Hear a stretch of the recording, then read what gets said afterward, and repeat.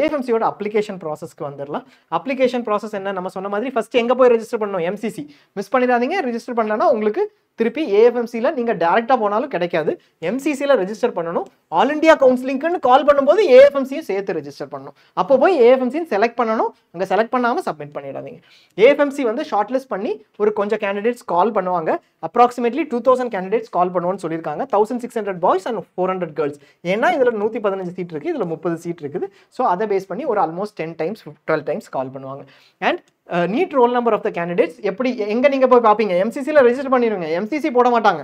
AFMC வெப்சைட்டில் தான் யார் யார் எலிஜிபிள் அவங்க யார் யார் என்னைக்கு வரணும் அந்த ரெண்டு நாளைக்கு. ஏஎஃப்எம்சி ஸ்க்ரீனிங்கிறது கிளியராக போடுவாங்க. டேட் ஆஃப் இன்டர்வியூலாம் சேஞ்ச் பண்ணுவாங்கன்னு எக்ஸ்பெக்டே பண்ணாதீங்க. Exceptional circumstances genuine case medical reasons அந்த மாதிரி இருந்தால் ஒருவேளை சேஞ்ச் பண்ணலாம். பட் கேட்காம இருக்கிறது ஆல்வேஸ் பெட்டர் உங்களால் முடிஞ்ச வரைக்கும் ட்ரை பண்ணி போகிறது பெட்டர் அடுத்தது நம்ம ஏஎஃப்எம்சியோட ஸ்க்ரீனிங் ப்ராசஸ் அப்படின்னு சொல்லுவோம். ஸ்க்ரீனிங் ப்ராசஸ்னால் என்ன? ஆயிரத்தி அறநூறு பாய்ஸ் கால் பண்ணியிருக்காங்க நானூறு கேர்ள்ஸ் கால் பண்ணியிருக்காங்க இதில் இது யா- எப்போ கால் பண்ணுவாங்க? எம்சிசி ரெஜிஸ்டர் பண்ணவங்கள ஏஎஃப்எம்சிக்கு போன லிஸ்ட் ரெஜிஸ்டர் பண்ணிட்டாங்க ஏஎஃப்எம்சிக்குன்னு சொல்லி. அந்த லிஸ்ட்லேருந்து கால் ஃபார் பண்ணிட்டாங்க. இப்போ இவங்களாம் ரெண்டு நாள் கூப்பிட்டு ஒரு ப்ராசஸ் வைக்கணும் இல்லையா? அந்த ப்ராசஸ் பேஸ் பண்ணி தான் இரநூத்தி ஐம்பது மார்க்குக்கு மொத்தம் எத்தனை மார்க் எடுத்திருக்காங்கன்னு டிசைட் பண்ண போகிறாங்க அதுதான் நம்ம கிளியராக பார்க்க போகிறோம் ப்ராசஸ் என்னங்கிறத பார்த்துடலாம். இந்த short listed two thousand candidates இதுக்கு பேர் ஷார்ட் லிஸ்ட் அவங்க ஏஎஃப்எம்சி புனேக்கு ரெண்டு நாள் கூப்பிடுவாங்க. யூஸ்வலாக இது வந்து ஒரு ஏழு நாள் நடக்கும். ஏழு நாள் மொத்தம் நடக்கும். ஒரு நாளைக்கு ஏழு ஏஎம் பேட்ச் ஒன்று ஒரு நூற்றி ஐம்பதுலேருந்து நூற்றி அறுபது பேர். அடுத்த நாள் ஒரு அதே நாள் ஒரு எயிட் ஏஎம் பேட்ச் நூற்றம்பதுலேருந்து நூற்றி அறுபது பேர். ஸோ லேட்டஸே ஒரு இருபத்தி அஞ்சாம் தேதி ஆரம்பிக்குதுன்னு வச்சுக்கோங்க. இருபத்தஞ்சு ஆகஸ்ட் ஜூலைன்னு வச்சுக்கோங்க. அன்னைக்கு ஆரம்பிக்குது. அன்னைக்கு ஃபர்ஸ்ட் பேட்ச் ஆரம்பிக்குதுன்னா ஃபர்ஸ்ட் பேட்ச்ல ஒரு நூற்றம்பது பேர் போவாங்க. இவங்களுக்கு இருபத்தஞ்சு ஜூலை இருபத்தாறு ஜூலை ரெண்டு நாளுமே full two days medical examination interview test இதெல்லாமே ரெண்டு நாள் நடக்கும்.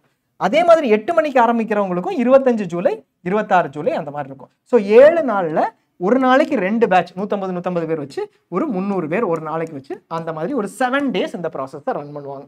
ஒவ்வொரு நாளும் என்ன நடக்குங்கிறத மெடிக்கல் ஸ்க்ரீனிங் ப்ராசஸ் டீட்டெயில்ஸில் சொல்லுவோம். இப்போ ஒரு பேசிக் அந்த வெயிட்டேஜ் என்ன அப்படிங்கிறத பிரீஃபாக சொல்லிடுவோம். First test of English and language reasoning test of English and language reasoning நம்ம நீட் பேஸ் பண்ணி கிடையாது. இங்கிலீஷ் லாங்குவேஜ் ரீசனிங் யூஸ்வலாக English language and reasoning so English language and ரீசனிங்கிறது வந்து நம்ம யூஸ்வலாக ஆப்டி ஆப்டிடியூட் டெஸ்ட்டோ அதில் ரீசனிங் கொஸ்டின்ஸ் பார்த்துருப்போம். அந்த மாதிரிப்பட்ட கொஸ்டின்ஸ் இருக்கும். Computer based test forty multiple choice questions forty questions அதுக்கு மல்டிபிள் சாய்ஸ் ஆன்சர்ஸ் கொடுப்பாங்க. அதை எடுக்கணும். மொத்தம் முப்பது நிமிஷம் கொடுப்பாங்க. நாற்பது கொஸ்டின் ஆன்சர் பண்ணணும். கரெக்டாக ஆன்சர் பண்ண கொஸ்டினுக்கு ரெண்டு மார்க் அப்போ டோட்டல் எயிட்டி மார்க்ஸ் மேக்ஸிமம் வரும். நெகட்டிவ் மார்க்கிங் உண்டு point five marks negative marking maximum mark எவ்வளவு? எயிட்டி மார்க்ஸ் கிடைக்கும். ஸோ இதை எப்படி எடுக்க போகிறாங்க நம்ம ஏற்கனவே சொன்னோம் இல்லையா? கிளியராக எக்ஸ்பிளைன் பண்ணினோம். எழுநூற்றி இருபதுக்கு நீங்கள் அறநூறு மார்க் எடுத்திருக்கீங்க நீட்டில் அப்படின்னா அதை இந்த மார்க்கோட சேர்ப்பாங்க. இது எவ்வளவு?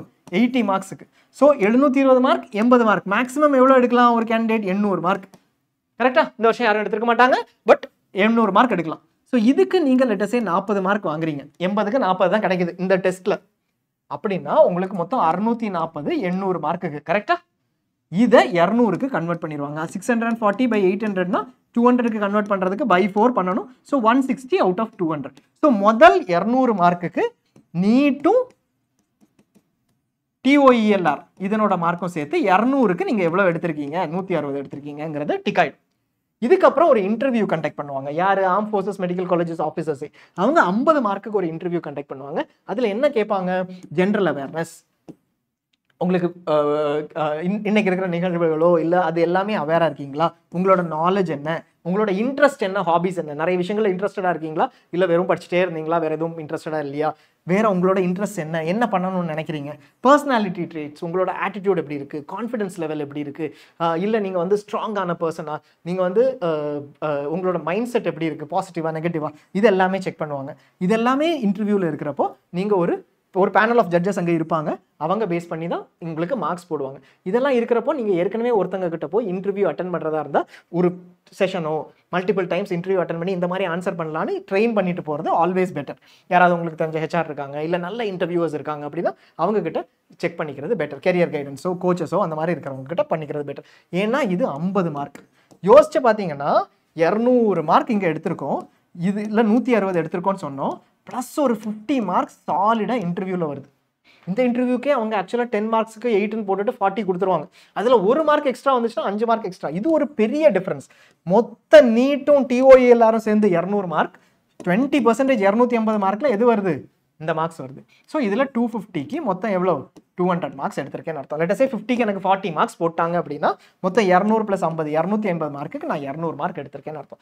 இந்த மாதிரி ஒவ்வொருத்தரும் எடுத்திருப்பாங்க. நான் இரநூறு எடுத்திருப்பேன் இன்னொருத்தங்க இரநூத்தி ஒன்று எடுத்திருப்பாங்க இன்னொருத்தங்க இரநூத்தி பத்து எடுத்திருப்பாங்க ஒருத்தங்க நூற்றி தொண்ணூறு எடுத்திருப்பாங்க. இது எல்லாமே சேர்த்து இந்த டூ ஃபிஃப்டிக்கு வர்றதுல அதில் தான் ரேங்க் பண்ணுவாங்க. நீட் ரேங்க் படி கிடையாது. நீட் ரேங்க் படி முதல் ரெண்டாயிரத்தை செலக்ட் பண்ணாங்க. அவங்களுக்குள்ள இது பேஸ் பண்ணி ரேங்க் பண்ணுவாங்க. ஸோ இது வே- ரொம்ப ரொம்ப கிரிட்டிக்கல் இன்டர்வியூவும் ரொம்ப கிரிட்டிக்கல் இன்டர்வியூ நல்லா பண்ணுறது உங்களுக்கு நிறைய ஆப்பர்ச்சுனிட்டி நிறைய பாசிபிலிட்டிஸை இன்க்ரீஸ் பண்ணும். இப்போ வெயிட்டேஜ் வந்து எப்படி கொடுப்பாங்க இந்த இன்டர்வியூக்கு இதெல்லாம் எனக்கு இருக்கணும். கொஸ்டின் கேட்பாங்க. இது தவிர weightage NCC sports in fact extra curricular activities நீங்கள் ஸ்பீச்சில் இருக்கீங்க டிபேட்டில் இருக்கீங்க அந்த மாதிரி இருக்கீங்க அப்படின்னாலோ அது மாதிரியோ சாங் மியூசிக் எதுனாலும் அந்த மாதிரி extra curricular activities wards of officers ஜேசிஓஸ் ORs so இப்போ சர்வ் பண்ணிட்டு இருக்கிறதோ ஏற்கனவே சர்வ் பண்ணுறதோ இல்லை எக்ஸ் சர்வீஸ்மனாக இருக்கக்கூடிய ஆஃபீஸர்ஸ் ஆர்மி ஆஃபீஸர்ஸோ இல்லை பேராமிலிட்டரியில் இருந்தீங்க அந்த மாதிரிப்பட்ட ஆஃபீஸர்ஸ்க்கு எல்லாத்துக்குமே ஆர்மி ஆஃபீஸர்ஸ் பேசிக்காக அவங்களுக்கும் பேசிக்காக ஒரு வெயிட்டேஜ் கொடுப்பாங்க. அந்த இன்டர்வியூலேயே கொடுப்பாங்க. சரி? அப்படி இருந்துச்சுன்னா அதுக்கான டாக்குமெண்ட்ஸ் எடுத்துருப்பாங்க ஸ்க்ரீனிங் ப்ராசஸில் அடுத்த பார்ட் வந்து மெடிக்கல் எக்ஸாமினேஷன் மெடிக்கல் எக்ஸாமினேஷன் வந்து எல்லா கேண்டிடேட்ஸும் அண்டர்கோ பண்ணணும். நூற்றி நாற்பத்தஞ்சு பேரும் மெடிக்கலி அன்ஃபிட்டாக இருந்தீங்க அப்படின்னா ஃபைனல் மெரிட் லிஸ்ட்டில் வர மாட்டாங்க இந்த மெடிக்கலி அன்ஃபிட்டுக்கு நிறைய க்ரைட்டீரியா வச்சுருக்காங்க. தனியாக அதை நம்ம எடுத்துகிட்டு போவோம். பட் இது எஸ்ஆர்னோ நோ மாதிரி. இதில் உங்களுக்கு இருபது மார்க்கு நாற்பது மார்க்குன்னு ஒரு கேண்டிடேட் இடையில டிஃப்ரென்ஷியேஷன் கிடையாது. எல்லாரும் கிளியர் பண்ணணும் அவ்வளோதான் இதே மாதிரி ஒரு சைக்கோமெட்ரிக் அசஸ்மெண்ட் டெஸ்ட் இதுவும் கம்ப்யூட்டர் பேஸ்ட் டெஸ்ட் ஏற்கனவே நம்ம இந்த டெஸ்ட் சொன்னோம் இல்லையா? அது கம்ப்யூட்டரில் தான் நீங்கள் பண்ணுவீங்க. Test on English test of English language and reasoning so இது வந்து சைக்கோமெட்ரிக் அசஸ்மெண்ட் டெஸ்ட் இது ஒரு குவாலிஃபைங் எக்ஸாமினேஷன் தான். அப்படின்னா என்ன அர்த்தம்னா உங்களுக்கு கொஸ்டின்ஸ் கேட்பாங்க. அந்த கொஸ்டின்ஸ் ஆன்லைன்லேயே நீங்கள் ஆன்சர் ஃபில் பண்ணுவீங்க. யூஸ்வலாக சினாரியோஸ் இருக்கும். இந்த மாதிரி சினாரியோவில் what will be the choice that you take இந்த மாதிரி இருக்கிறப்போ what will be a thought process நீங்கள் யூஸ்வலாக டெய்லி காலையில் இந்த மாதிரி ஆக்டிவிட்டி எப்படி பண்ணுவீங்க? அப்படிங்கிற மாதிரி கொஸ்டின்ஸ் இருக்கும். அதை அசஸ் பண்ணுவாங்க. அப்படி அசஸ் பண்ணுற கொஸ்டின்ஸ் ஒரு தடவை நீங்கள் சைக்கோமெட்ரிக் அசஸ்மெண்ட் டெஸ்ட்னு ஆன்லைனில் பார்த்துக்கோங்க. ரொம்ப சிம்பிளாக தான் இருக்கும். கிளியர் பண்ணணும் அவ்வளோதான் இதில் மார்க்ஸ் கிடையாது. ஸோ ஃபைனல் ரிசல்ட் எதை பேஸ் பண்ணியிருக்கோம்? நம்ம ஏற்கனவே பார்த்தா இரநூத்தி ஐம்பது மார்க் இதில் என்னெல்லாம் இருந்துச்சு? நீட் மார்க் ஒரு பாஸ் ஒரு செவன் டுவெண்ட்டி பை ஃபோருக்கு இருந்துச்சு. அதுக்கப்புறம் test on English language and reasoning இருந்துச்சு. ப்ளஸ் இன்டர்வியூ மார்க்ஸ் இருந்துச்சு. இது மூணு சேர்த்து இரநூத்தம்பதுக்கு போட்டதை வச்சு தான் ஃபைனல் ரிசல்ட் இது ரெண்டையும் பாஸ் ஆகல பாஸ் ஆகலைன்னா ஃபைனல் ரிசல்ட்டே வராது. ஸோ இதில் பாஸ் ஆனதுக்கப்புறம் ஃபைனல் ரிசல்ட்டில் மெரிட் லிஸ்ட்னு ஒன்று போடுவாங்க. இந்த வெப்சைட்டில் தான் போடுவாங்க. எம்சிசியில் போட மாட்டாங்க. இந்த வெப்சைட்ஸில் நம்ம கண்டினியூஸாக பார்த்துட்டு இருக்கணும். எப்போ? நான் போயிட்டேன். ஏழு நாள் எக்ஸா எக்ஸாமினேஷன் முடிஞ்சிடுச்சு. ஸோ இருபத்தஞ்சாம் தேதி ஆரம்பிச்சது அடுத்த மாதம் ரெண்டாம் தேதி ஆகஸ்ட்ல முடிஞ்சதுன்னு வச்சுக்கோம் செகண்ட் ஆகஸ்ட்ல இருந்து ஒரு த்ரீ டேஸ் எடுத்துட்டு எல்லாரோட எக்ஸாமினேஷன் முடிச்சதுக்கப்புறம் ஸ்க்ரீனிங் முடிச்சதுக்கப்புறம் ஒரு த்ரீ டேஸ் எடுத்துட்டு ரிசல்ட்ஸை பப்ளிஷ் பண்ணுவாங்க. அந்த ரிசல்ட்ஸ் பப்ளிஷ் பண்ணும்போது எனக்கு மெரிட் லிஸ்ட்ல வந்திருக்கேனா நூற்றி நாற்பத்தஞ்சு பேரில் நான் இருக்கேனாங்கிறது தெரிஞ்சும். அப்படி நான் நூற்றி நாற்பத்தாறு பர்சனாக இருக்கின்ற ஆறாவது பர்சனாக இருந்திருக்கேன்னா ஜஸ்ட் மிஸ் ஆயிருப்பேன் இல்லையா? என்ன வெயிட் லிஸ்ட்டில் வச்சிருப்பாங்க. இதில் கண்டிப்பாக ஒன்று ரெண்டு பேர் ஜாயின் பண்ண மாட்டாங்க. ஏதோ ஒரு ரீசனுக்காக அவங்களுக்கு எய்ம்ஸ் டெல்லி கிடச்சிருக்கலாம். இல்லை ஏஎஃப்எம்சி வேண்டாம் என்னோட ஸ்டேட்டில் ஃபர்ஸ்ட் காலேஜ் போயிடலாம்னு நினச்சிருக்கலாம். அந்த மாதிரி ரீசன்ஸ்க்காக ஜாயின் பண்ணாதப்போ உங்களுக்கு ஒரு ஆப்பர்ச்சுனிட்டி கிடைக்கும். அது எத்தனை பேர் வரைக்கும் கிடைச்சிருக்குங்கிறத நம்ம இப்போ மென்ஷன் பண்ணலாம். அடுத்தது கடைசியில் மென்ஷன் பண்ணுவோம். க்ளோசிங் ரேங்க்ஸ் அப்போ.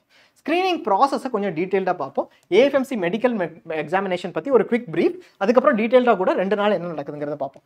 No medical fitness certificate will be issued அவங்க சர்டிஃபிகேட் எதுவும் இஷ்யூ பண்ண மாட்டாங்க. ரிப்போர்ட்ஸை வச்சு எஸ் ஆர் நோ அப்படிங்கிறத சொல்லுவாங்க. இருபத்தி நாலு மணி நேரம் கொடுப்பாங்க. ரெண்டு நாள் நீங்கள் அட்டன் பண்ணியிருக்கீங்க லேட்டஸ்டே ஒரு பதினஞ்சாம் தேதி இருபத்தி ரெண்டாம் தேதி ஆரம்பிக்கிறீங்க. ஃபர்ஸ்ட் நாள் இருபத்தி மூணாம் தேதி செகண்ட் நாள் ரெண்டு நாளும் நீங்கள் ஸ்க்ரீனிங் பண்ணியிருக்கீங்க இருபத்தி மூணாம் தேதி ஈவினிங் சொல்கிறாங்க நீங்கள் மெடிக்கலி அன்ஃபிட்னு நாலு டிஃப்ரெண்ட் ஆப்தல்மாலஜி டெஸ்ட் ஹியரிங்கில் நீங்கள் மெடிக்கலி அன்ஃபிட்னு சொல்கிறாங்க அப்போ நீங்கள் என்ன பண்ணலாம்? மெடிக்கலி அன்ஃபிட்டாக இருந்தால் நான் அந்த ரெண்டு டெஸ்ட்டையும் திருப்பி எடுத்துக்கிறேன்னு ஃபார்ட்டி ருபீஸ் பே பண்ணி சொல்லலாம். அப்பீல் பண்ணலாம். அடுத்த நாள் மறுபடியும் டெஸ்ட் எடுத்துட்டு திருப்பி வீட்டுக்கு வரலாம். மூணாவது நாள் இருந்து டெஸ்ட் எடுத்துட்டு வீட்டுக்கு வரலாம். நீங்கள் மெடிக்கலி அன்ஃபிட்டாக இருந்தால் அதனோட ரிசல்ட்ஸையும் உங்களுக்கு சொல்லிடுவாங்க நீங்கள் அது ரெண்டாவது டெஸ்ட் எடுக்கும்போது நீங்கள் ஃபெயில் ஆகிருக்கலாம் இல்லை பாஸ் ஆகிருக்கலாம் அது உங்களோட டெஸ்ட்டை பொறுத்து. டெம்பரரி அன்ஃபிட்னு ஒரு ஸ்டேட்டஸ் கிடையாது. நீங்கள் வந்து நான் போகிறேன் எனக்கு இந்த ட்ரீட்மெண்ட் எடுத்துகிட்டு லேசிக் எடுத்துகிட்டு திருப்பி வரேன் என்னோட வெயிட்டை ரெண்டு கிலோ கம்மி பண்ணிட்டு வரேன் அப்படிங்கிறது கிடையாது. அன்னைக்கு என்ன க்ரைட்டீரியாவோ அந்த க்ரைட்டீரியாவை நீங்கள் அன்னைக்கு உங்களுக்கு அப்ளிகபிள் க்ரைட்டீரியாவுக்கு நீங்கள் கிளியர் பண்ணல அப்படின்னா you're medically unfit entire medical process is two to three days so நீங்கள் வந்து டூ டேஸ் மட்டும் இல்லாமல் தேர்ட் டேயும் வெயிட் uh, பண்ணுறதுக்கு ரெடியாக இருக்கணும். பேரண்ட்ஸ் கூட போகலாம்.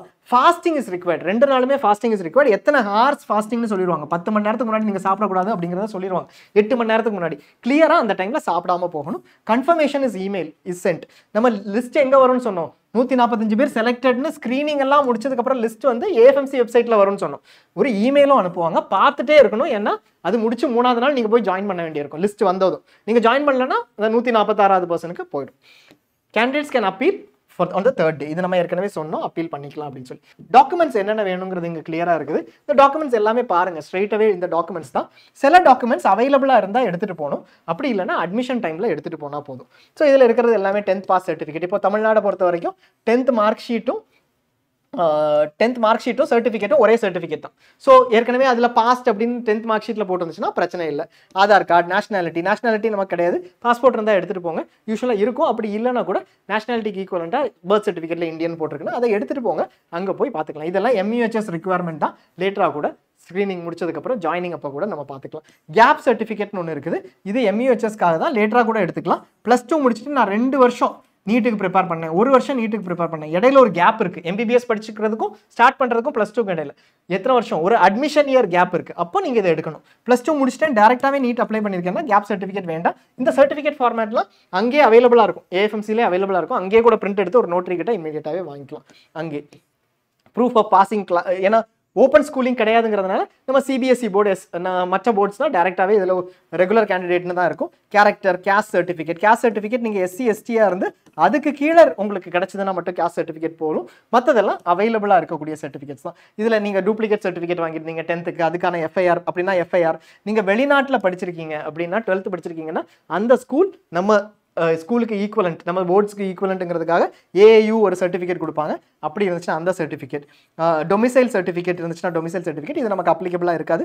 NCC sports extra curricular activities ex servicemen certificate இந்த நாலு எதுக்கு நீங்கள் எடுத்துகிட்டு போனீங்கன்னா இன்டர்வியூவில் நிறைய மார்க்ஸ் கிடைக்குங்கிறதுக்காக டாக்குமெண்ட் சரண்டர் சர்டிஃபிகேட் தான் நம்ம நீங்கள் இன்னொரு காலேஜில் ஜாயின் பண்ணியிருக்கீங்க ஆல் இந்தியாவில் இப்போ நீங்கள் ஏஎஃப்எம்சிக்கு போகிறீங்க அந்த காலேஜை விட்டுறக்கூடாது இல்லையா? ஸோ ஏஎஃப்எம்சிக்கு போகிறப்போ நான் அந்த காலேஜில் டாக்குமெண்ட்ஸ் எல்லாம் ஒரிஜினல்ஸ் வச்சிருக்கேன்னு சொல்லி அந்த காலேஜ்லேருந்து ஒரு சர்டிஃபிகேட் வாங்கிட்டு போனால் போதும். ஏஎஃப்எம்சி கிடைச்சதுக்கப்புறம் இதை ரிசைன் பண்ணிக்கலாம். ஸோ அந்த மாதிரி ஒரு சர்டிஃபிகேட் எடுத்துகிட்டு போகணும். ஸோ இதுதான் கிளியராக சர்டிஃபிகேட்ஸ் அண்ட் டாக்குமெண்ட்ஸ் ரிக்வயர்ட் எப்போ?